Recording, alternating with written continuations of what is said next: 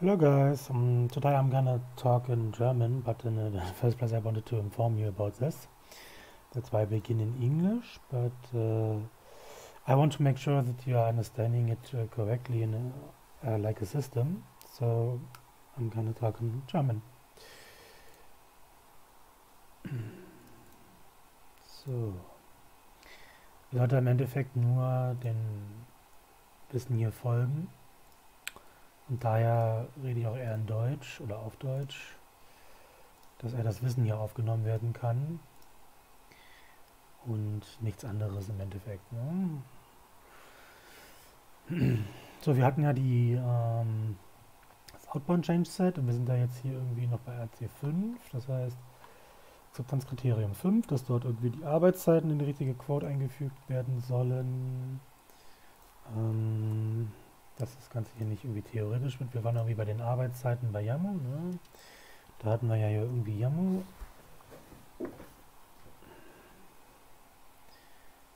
Die Arbeitszeit, da warte ich jetzt mal eine Weile, bis das irgendwie dort ist. Ähm, ist das Story 58?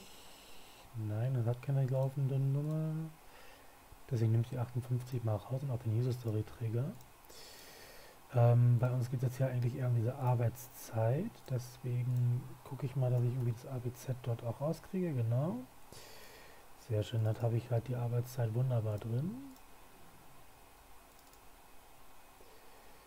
Ähm, Test haben wir halt noch nicht geschrieben, aber wir sind auch noch nicht so weit. Ne? Wir hatten, glaube ich, auch schon mal getestet. Ja, die Working Times werden ja erstellt, beziehungsweise sollen erstellt werden.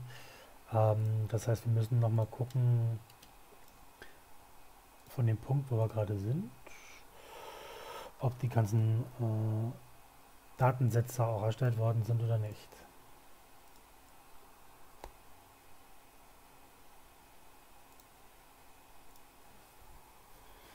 Deswegen gehen wir mal hier rein. Hier gibt es schon irgendwie Quotes und es gibt ja auch mehrere Quotes anscheinend. Achso, ne, mehrere Opportunities. Ähm, ja, wahrscheinlich erstellt er mehrere davon.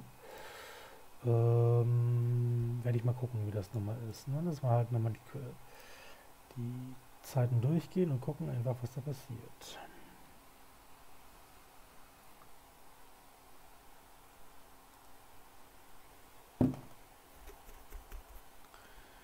In der Zeit können wir ja trotzdem schon mal hier gucken.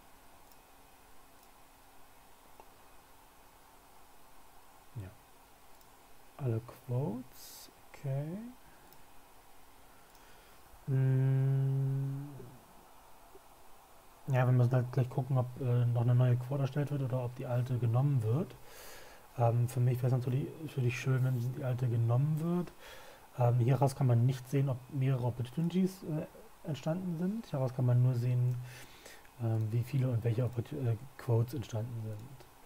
Hier, es gibt Phone Exception, dort gibt es irgendwie einen, einen, Fehler. Er sagt mir aber nicht warum. Ähm, interessant.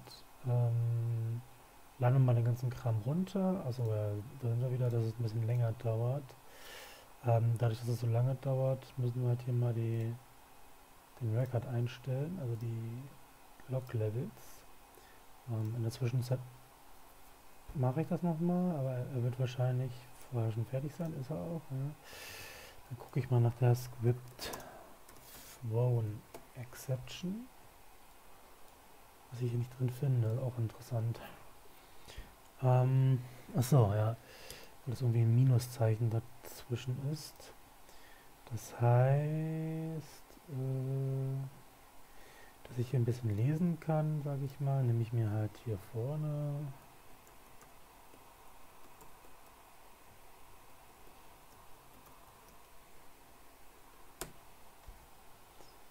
mal alles, was hat hier so drin ist, nehme ich mir mal daher und schiebe es rüber.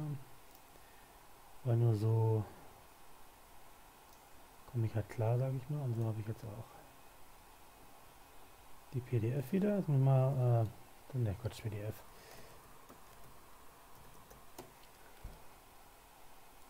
So. Dann haben wir hier irgendwie Quitting Working Times, ne? Dort in der 210 ist das Ganze. Okay das ist das Falsche. Ähm,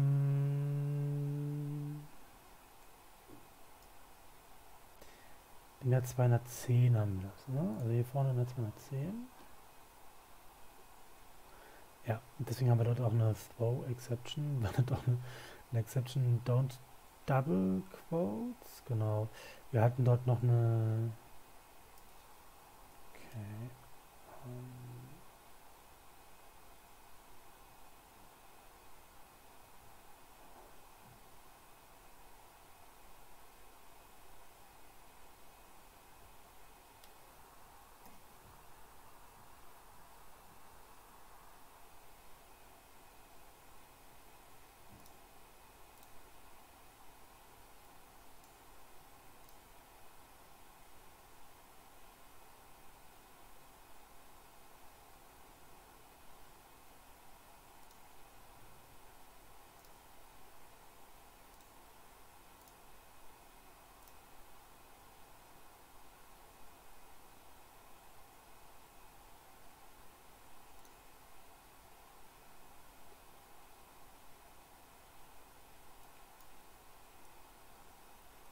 der Quote-Name, okay. Jetzt hier erstmal ein Success. Ähm, da scheint noch mehr dazu zu kommen. Äh, aber Opportunities werden jetzt glaube ich nicht erstellt. Nee. Aber Quotes werden noch erstellt, genau. Dann haben wir halt hier mehrere Quotes und da müssten wir jetzt auch mal drauf gehen sozusagen. Da werden zwei Quotes erstellt. Und die werden ja anscheinend auch an die richtige Opportunity gehangen. Warum haben wir hier dieses äh, Hello World? Das können wir ja auch mal rausfinden, warum das so ist.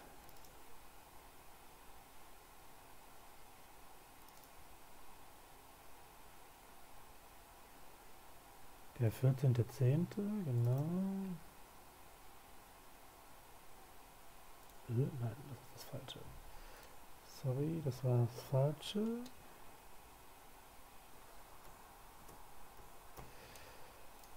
Momanka. Ja, da sind nämlich auch Arbeitszeiten drin. Ähm, wir haben einmal Yamomanka und einmal Hello World und deswegen, äh, genau, hat er da, da hat er ja auch Arbeitszeiten drin, deswegen werden auch äh, zwei Quotes erstellt, aber die werden immer neu erstellt. Ne? Genau, die Sache ist, dass halt die Quotes noch neu erstellt werden. Ja. Wir haben jetzt hier 9 drin und wenn ich jetzt nochmal erstelle, das könnte man demonstrieren.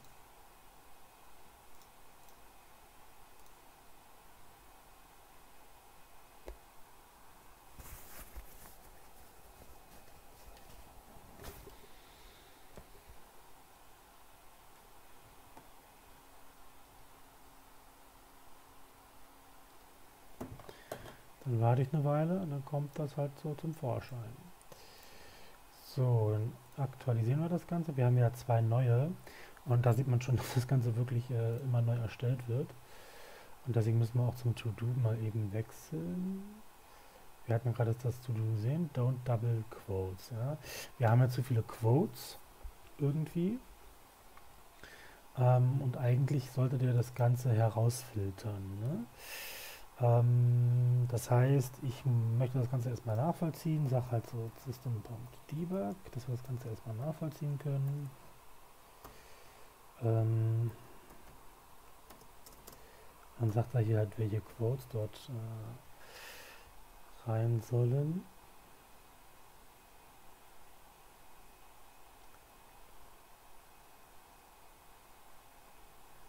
Ich müsste noch mal kurz gucken. Dass wir hier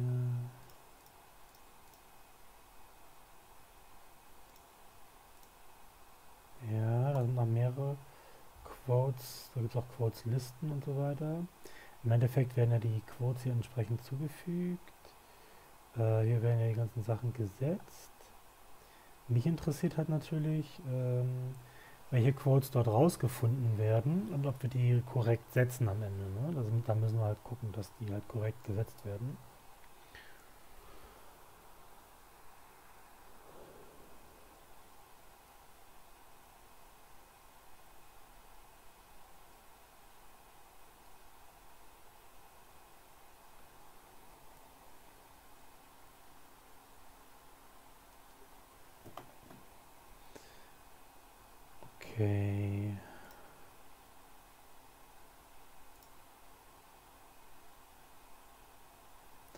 Ja, dann haben wir erstmal welche da überhaupt äh, drin sind. Und dann äh, müssen wir noch, vielleicht nochmal gucken, wo die Quotes hinzugefügt werden. Die werden nämlich hier hinzugefügt.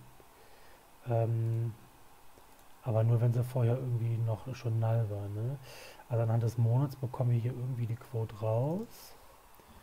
Ähm, jetzt müssen wir mal kurz äh, kleiner als 258, genau.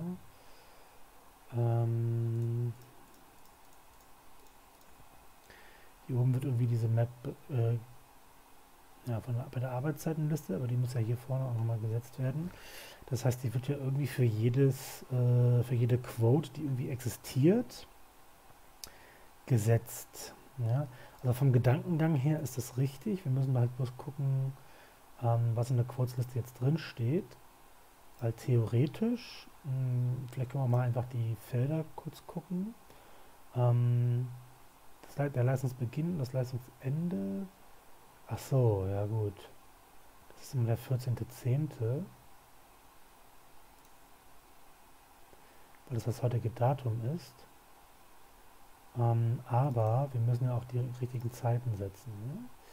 Das heißt ja, es gibt hier Zeiten.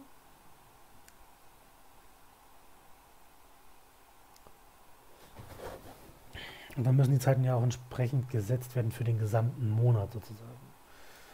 Ähm, das heißt, wir suchen uns das Feld raus für die Quote.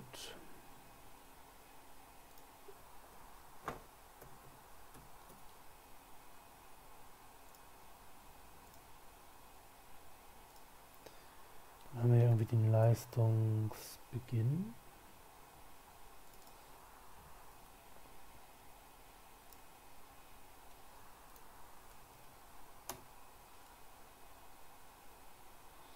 Und um den Leistungsbeginn sollte dann im Endeffekt auch gehen, wenn nämlich so eine ähm, Quote neu hinzugefügt wird. Und man sieht ja hier irgendwie, dass äh, da kein Leistungsbeginn gesetzt wird. Ähm, und wir nehmen irgendwie nur die, die im korrekten Leistungsbeginn sind. Ähm, und da der Leistungsbeginn nicht korrekt gesetzt wurde, nämlich auf den 14.10., das sieht man ja hier an den Daten, Leistungsbeginn und Leistungsende, ähm, wird es halt natürlich auch nicht korrekt gesetzt. Rechnungsdatum müsste auch gesetzt werden. Hm. Das heißt, sobald wir das erste Mal die Quote erstellen, müssten wir äh, ja, das korrekt hinzufügen sozusagen. Ne? Das heißt, wenn die Quote hier null ist, wird sie irgendwie neu gesetzt.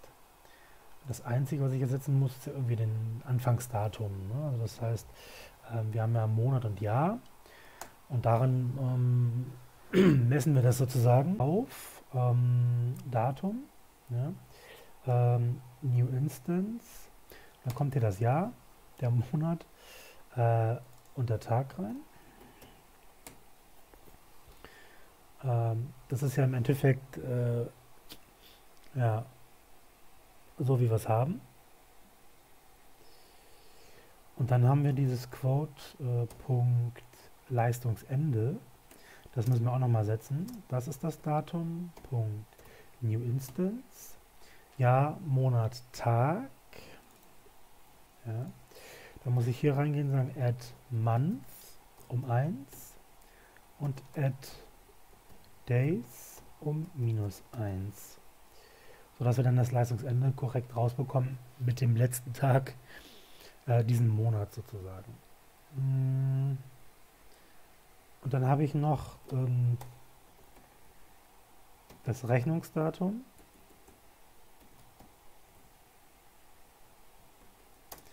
Und das Rechnungsdatum ist auch äh, eine neue Instanz.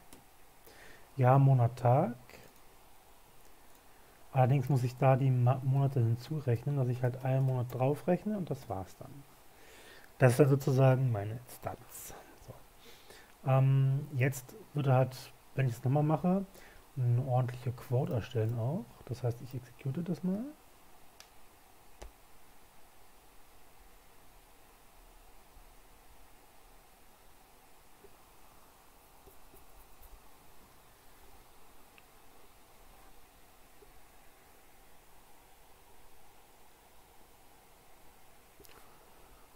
Das war ein vo voller Erfolg. Das heißt, hier werden ja wieder zwei Codes erstellt. Das sind die letzten beiden gleich. Ne? Das sind die beiden hier. Und ich werde mal eben diese Datensätze kurz aufrufen. Und Datensätze sind wie folgt. Okay, das ist die Opportunity dazu, die will ich aber nicht, das meinte ich nicht damit. Ähm, ich brauche natürlich die Quote.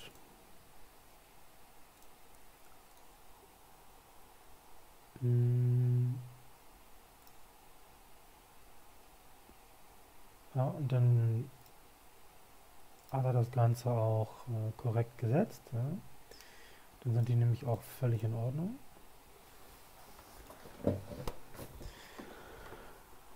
Und aus, aus meiner Sicht macht es dann Sinn, sofort einen Test zu schreiben einfach, ne? dass halt der Leistungsbeginn, das Leistungsende, das Rechnungsdatum entsprechend gesetzt ist. Das heißt, äh, wenn wir hier gewisse Sachen erfüllt haben, ähm, weil der Code wird ansonsten zu groß, er wird ja schon jetzt ziemlich groß. Ähm, das heißt, wir müssten einfach ähm, gewisse Working Times hinterlegen, eine ordentliche, ja, machen wir das einfach mal, ne? Das heißt, ich brauche ein Mockup. Wir machen jetzt mal ein Mockup, ja, Salesforce, äh, Apex Mockup.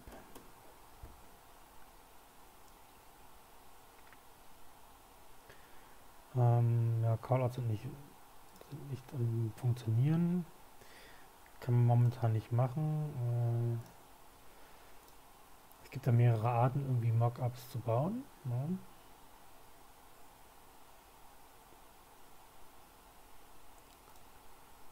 Ähm, akzeptieren und fortfahren.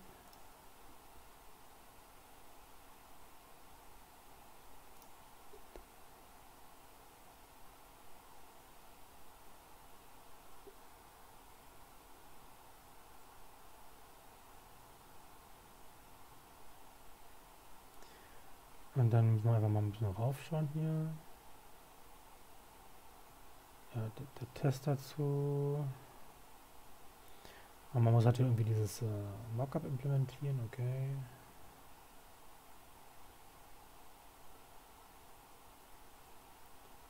Okay.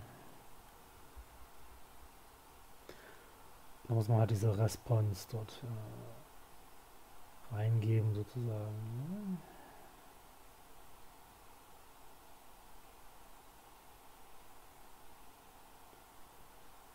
Das ist ja im Endeffekt die Mockup, die wir bekommen. Auf einen Request müssen wir halt einen Response bauen. Sodass wir halt das Richtige zurückliefern. Ne?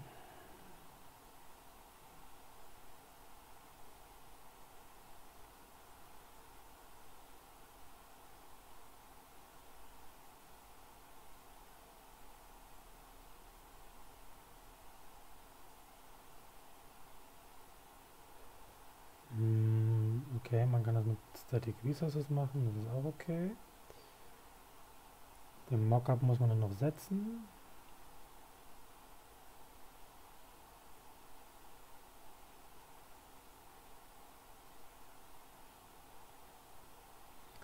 Ja.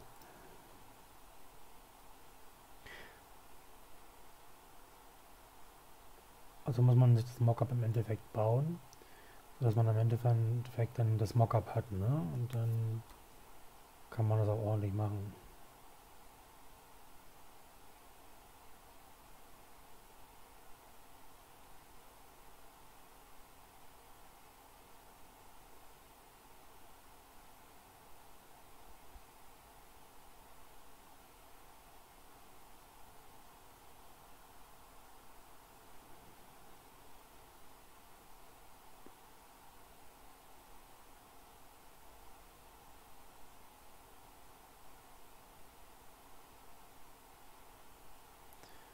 Gibt ja anscheinend mehrere Mockups.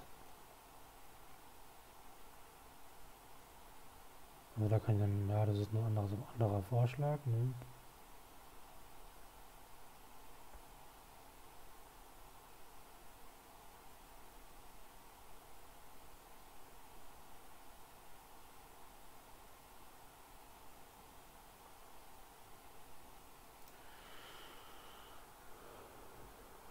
Genauso, dass wir es halt äh, entsprechend rausfiltern können natürlich. Ne? Das heißt, ich würde jetzt einfach äh, sagen, dass wir dort entsprechend was machen, Arbeitszeiten entsprechend rausbekommen. Ähm, mit dem Mockup, ich habe noch nicht entschieden für welches. Und Static Resource sieht eigentlich ganz nett aus, muss ich sagen.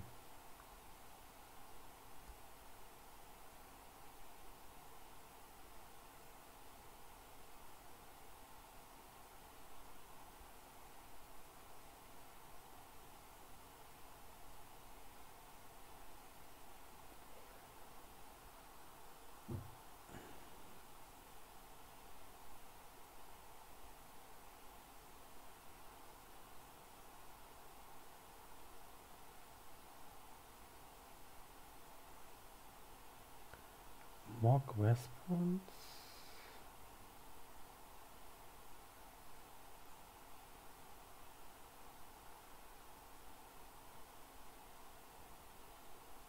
Ich versuche gerade irgendwie, warte mal.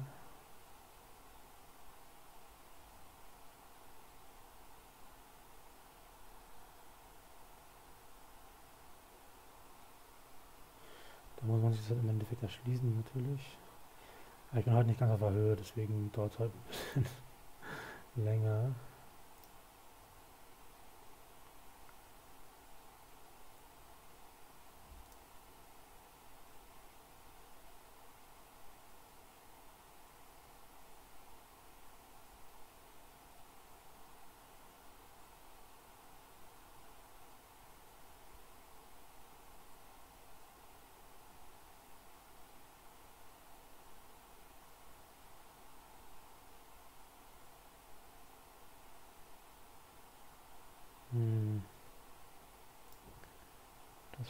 Nicht zu sein.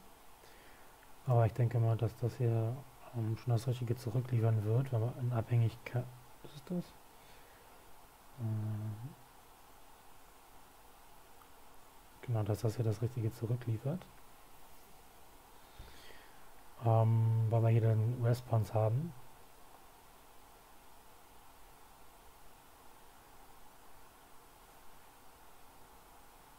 Dort im Endeffekt nur das eintragen müssen, was äh, zurückgeliefert wird sozusagen. Ne? In Abhängigkeit des HTTP-Requests natürlich. Ich habe gerade schon gesehen, dass es irgendwie in den Ideen gibt, äh, das Ganze per Callout zu machen. Das ist eigentlich auch eine coole Sache, finde ich, wenn man da die Callouts in Testklassen machen würde.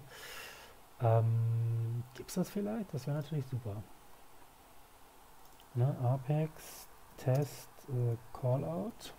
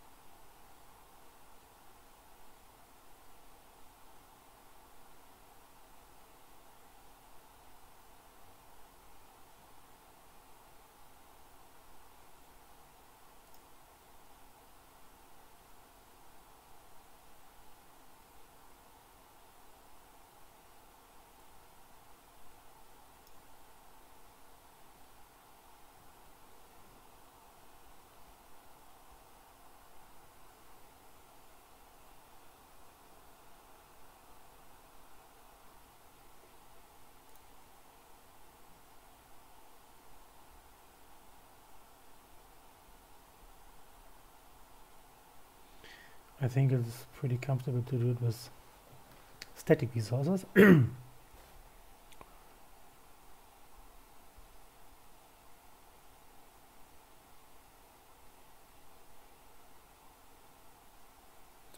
give it a try.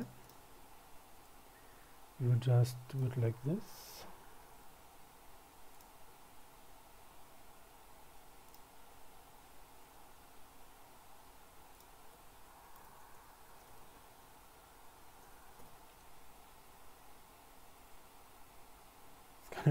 Out, that's good. And so we need um, a static resource and for this, uh, oh, uh, Deutsch. Wir werden jetzt erstmal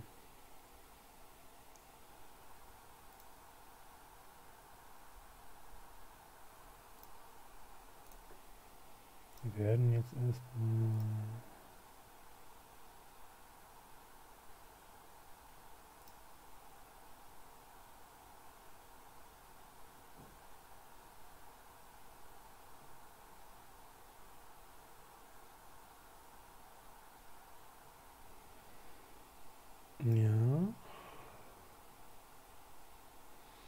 Wir haben hier natürlich gewisse Requests, die wir machen. Ne, hier ist ja das Request.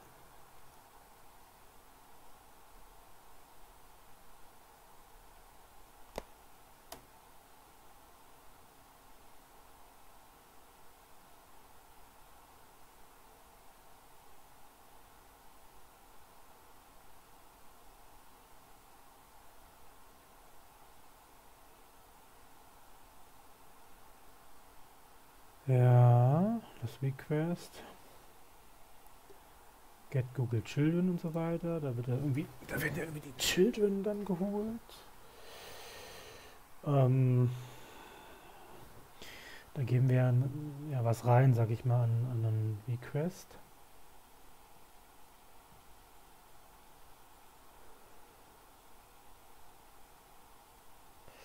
Das heißt, ähm,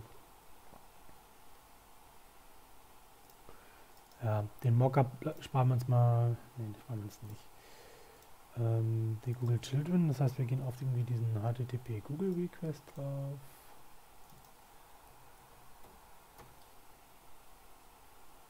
Ähm, gehen da rein.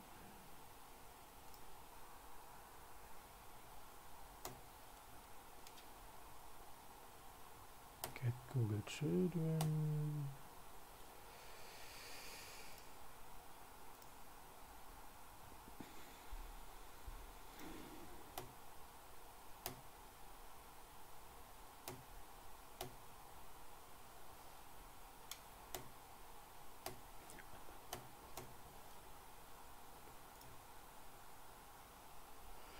So, Endpunkt. Genau, dann haben wir dieses HTTP-Request, was wir dort bauen. Ähm, und am Ende kommt ja im Endeffekt was raus. Je nach HTTP-Request soll er dann natürlich, je nachdem was für ein Request da kommt, soll beim Mockup natürlich was anderes gebaut werden. Also da soll was anderes zurückkommen. Ähm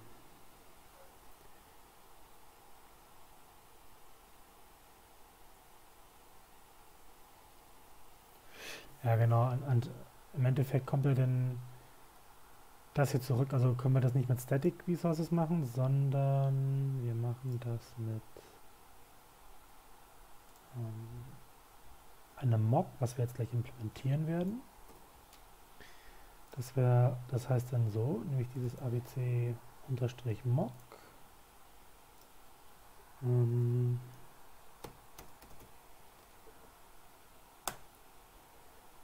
So, dann haben wir das hier noch. Ähm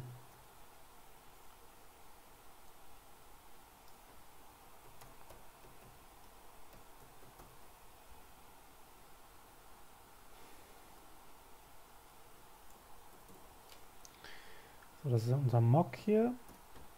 Das speichere ich mal ab. Dann haben wir sozusagen ein neues Mock. Das würde ich auch hinzufügen. Dieses Mock ähm, wird ja entsprechend ein Test und wird, äh, das hier implementieren.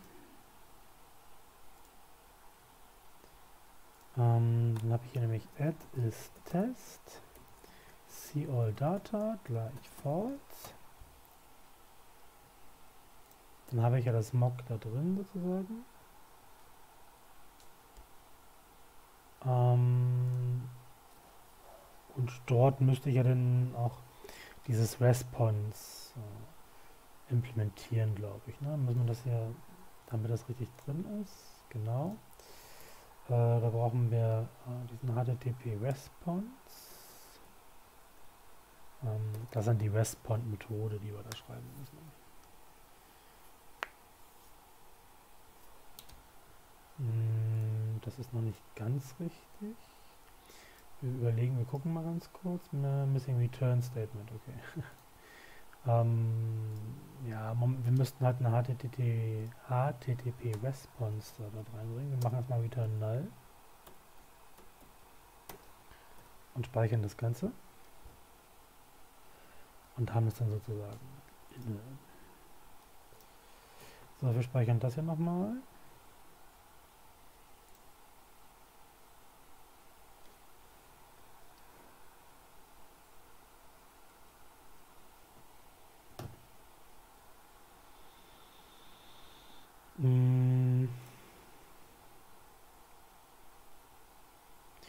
Statuscode nochmal senden, was an Statuscode rauskommen soll. Ähm, für eine Übersicht der Statuscodes, die müsste ich mir auch nochmal angucken, das habe ich auch nicht alles im Kopf, aber dass wir den Status einfach kriegen.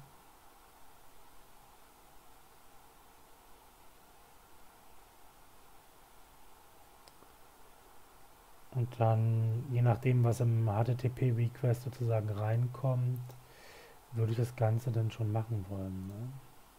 Das ist ja das, was ich mir gerade so ein bisschen zusammengebaut habe im Kopf. Ähm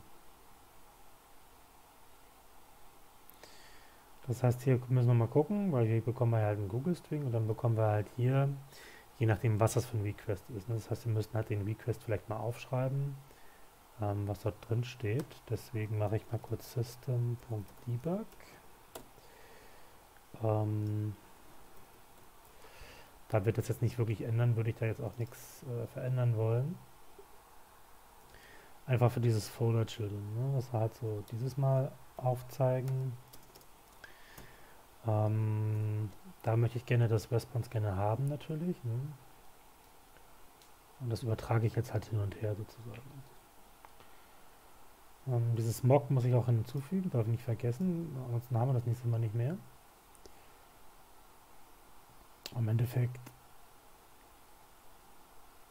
werden wir das ein nächstes Mal dann mit drin haben, sozusagen.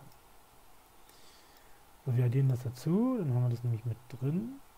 Die Liste hier, das ist nämlich die Liste der ganzen Children, die wir da haben. Mmh.